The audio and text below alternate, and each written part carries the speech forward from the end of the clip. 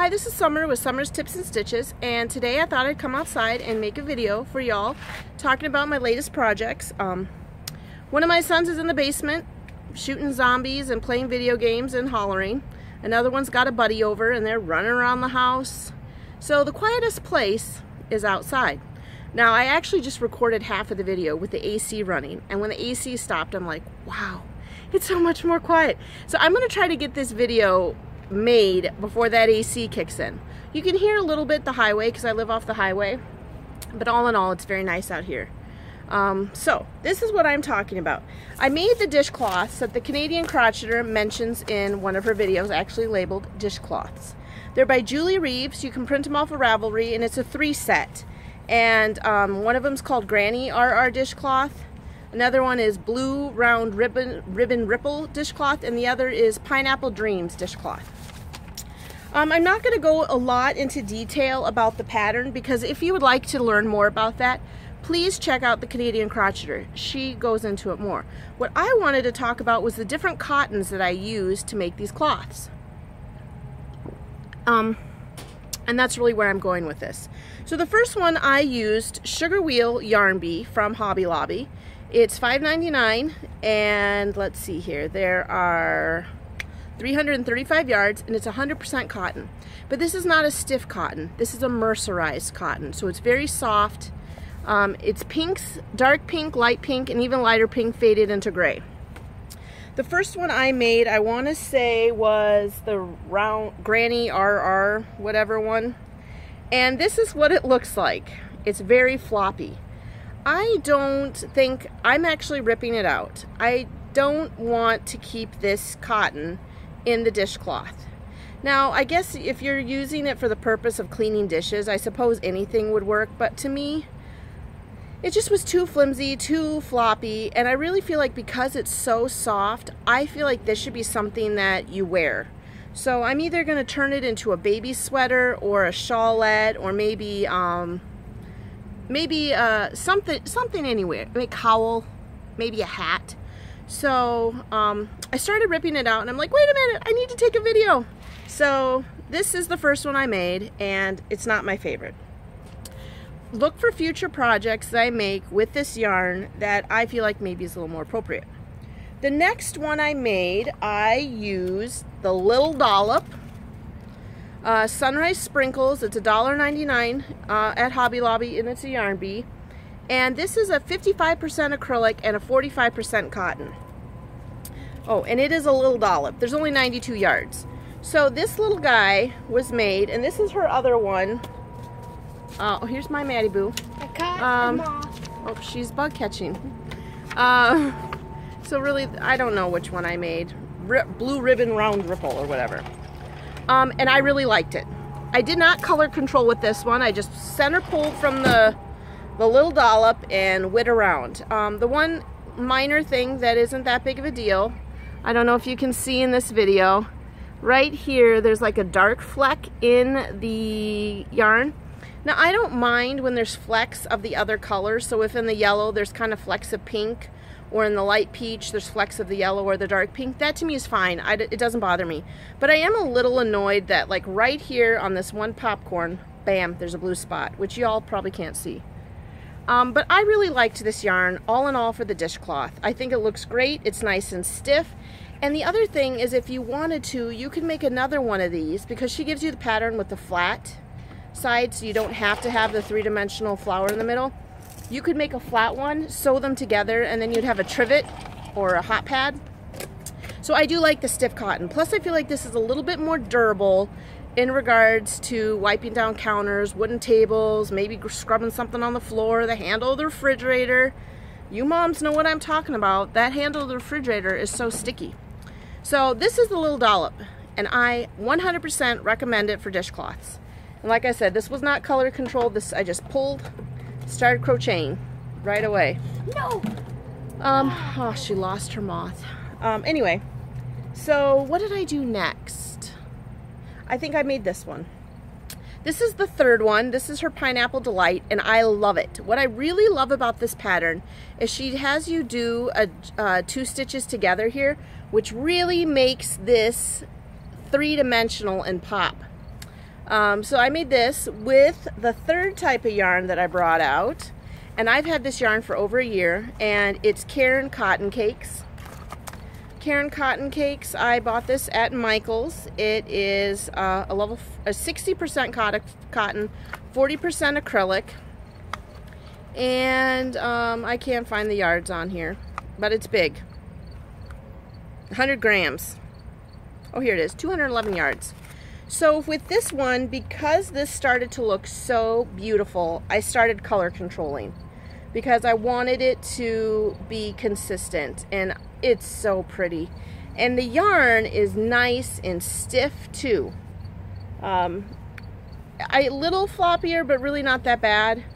Um, so I do recommend using the Caron cotton, cotton cakes. And you know what else? Both, let me see if I can find a little, I think I used up all of my dollop. This is a rounded, it's, it's more of a round, tightly spun yarn. So um, I made that one. And um, so here's, this is because I'm color controlling.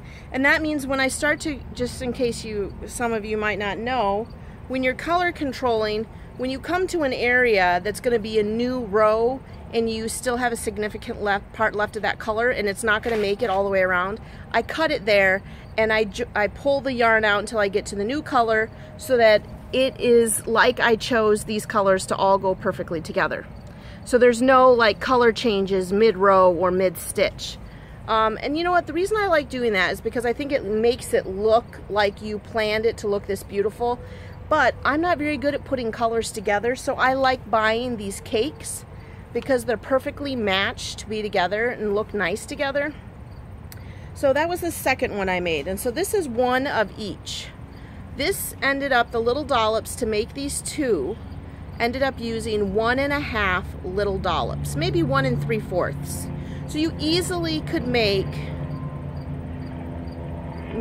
two, two of these, two dishcloths, one dishcloth per dollop. This one's a little smaller, I think. Maybe not. But anyway, that's what I have there. Um, just a little bit less of a dollop to make a dishcloth.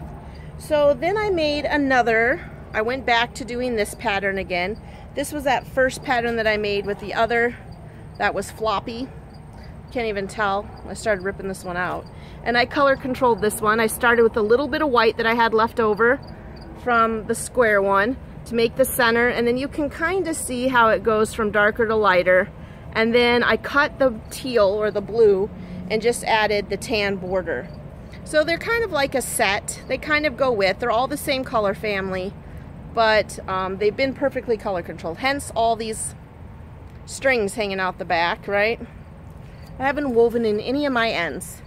So that's what I made. I made dishcloths. I wanted to quick come make a video show them to you and say that I do recommend using the little dollops to make a dishcloth. I definitely loved working with the Caron Cotton Cakes. Why wouldn't I? I love the Caron Cakes. I really love the Sugar Wheel Cotton uh, colorway Sugar Bliss here, but it's just, personally, I did not like it for a dishcloth. Um, I think it has better uses because it is like a nice, really soft, beautiful cotton.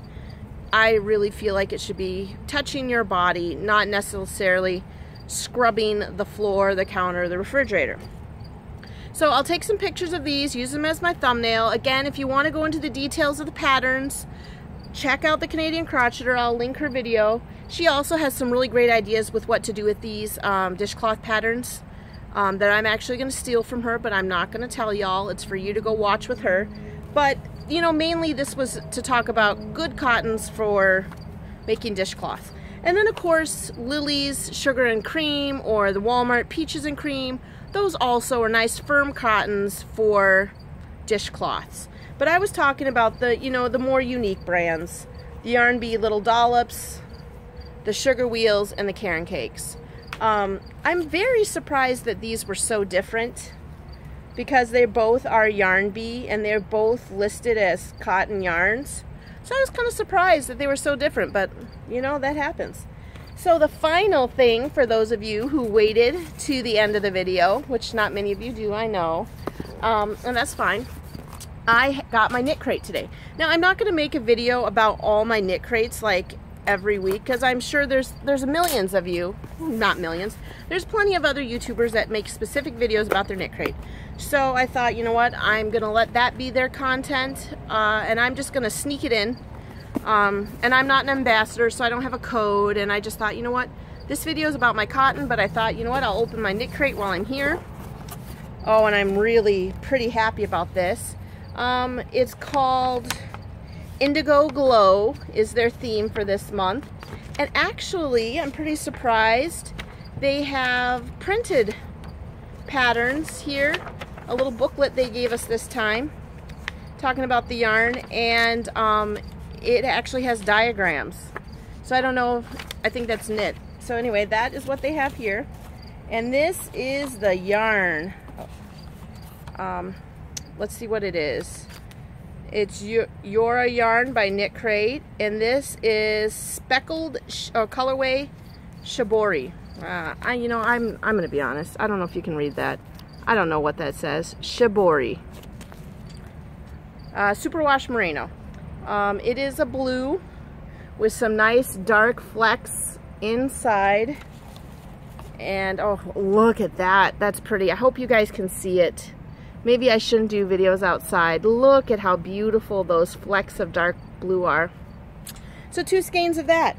And it looks like looks like shawlette type patterns by um, Jennifer Dickerson and Cassia Brown. Carissa Brown. So those are the, I think this is knit and this is crochet. So that's my knit crate. Let me hold it up here so you can see some merino fingering wool, some blues, indigo with some dark. And that's all I have for you, my friends. I'll put a link in the description to a knit crate. Um, also, I'll put a link in the description to the Canadian Crocheter so you can check out her video on dishcloths. I also put a link in the description to the Ravelry uh, link to these patterns. Pull them out, try them. They're really awesome and they worked out well. I started crocheting these. You could hear my kids on there.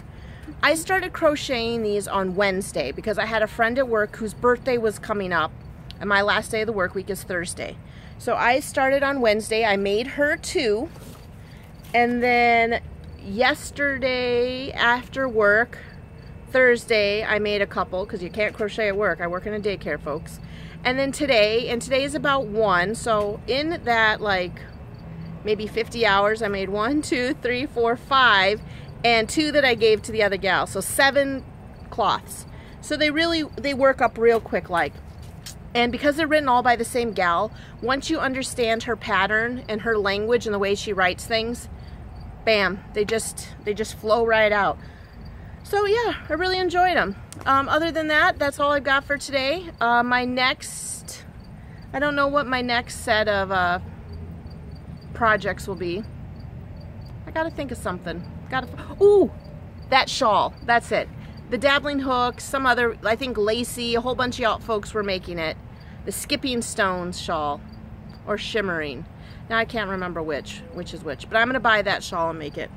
All right, that's all I've got today, folks. Thanks for watching, and I better hurry this up until the AC kicks in and you can't hear me. until then, happy crafting. Bye.